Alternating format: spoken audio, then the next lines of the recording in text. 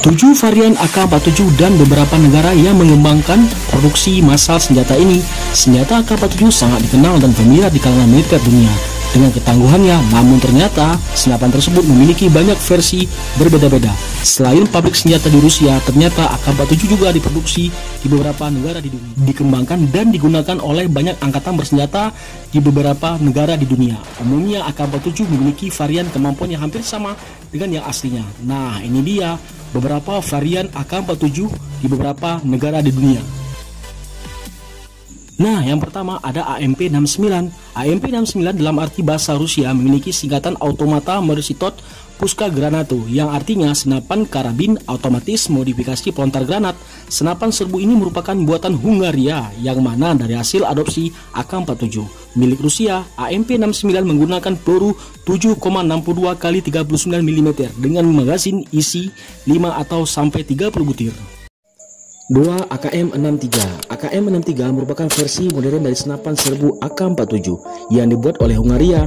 Senapan serbu ini sebenarnya merupakan varian dari AMD-65 akan tetapi dibuat dari kayu dengan begitu bobotnya pun lebih ringan, sekitar 3 kg. Peluru yang dimuntahkan umumnya berukuran 7,62 x 39 mm setara memiliki jarak efektif 500 meter dengan mekanisme operasi gas rata-rata peluru yang dimuntahkan hampir 600 butir per menitnya serta sejak tahun 1977 hingga sekarang. Senapan ini masih digunakan oleh angkatan bersenjata Hungaria. 3. Metzenlar Senjata ini merupakan buatan Denmark yang dibuat untuk menyaingi Rusia pada akhir 1950. Senapan ini berpeluang menggantikan FNAL Belgia sebagai senjata NATO. Tampak dari luar, senjata serbu ini memiliki kesamaan dengan AK-47 Rusia. Meskipun begitu, beberapa bagian menakika, lubang gas dan lainnya adalah replika dari senapan serbu AK-47.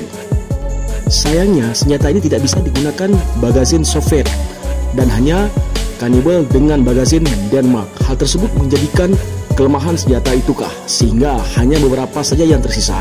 Dan dikabarkan Mensenlar hanya muncul di pasar-pasar namun kalah populer dengan senjata serbu yang lebih murah serta memiliki kualitas yang lebih bagus. Saat ini hanya ada beberapa Mensenlar yang tersisa. 4. Tipe 56 Tipe 56 merupakan senjata serbu buatan Cina. Yang mencontoh desain AK-47 Rusia Senjata tersebut masih diproduksi oleh perusahaan senjata Cina Morinhu yang hanya untuk pangsa pasar ekspor dari tahun 1950 sampai sekarang. Senjata serbu ini diproduksi antara 10 sampai 15 juta pucuk yang menyumbang setengah persen dari total AK-47 serta digunakan serta digunakan di berbagai belahan dunia dalam perang Vietnam. Tipe 56 menjadi salah satu senjata utama tentara Vietcong. Peluru yang digunakan yakni 7,62, 39 mm. Mekanismenya yang digunakan operasi gas yang rata-rata tembakan mencapai 600 butir per menitnya. Dengan kecepatan peluru tipe 56 sekitar 700 meter per detik sedangkan jarak efektifnya mencapai 850 meter. Tipe 5 Insas Nama Insas diambil dari singkatan India Small Art System yang artinya sistem senjata ringan India Senjata tersebut merupakan gabungan dari senjata serbu, senjata mesin ringan, juga sebuah karabin. Sebenarnya Insas merupakan replika dari AKM India yang telah disesuaikan dengan peluru 5,56 kali 45 mm.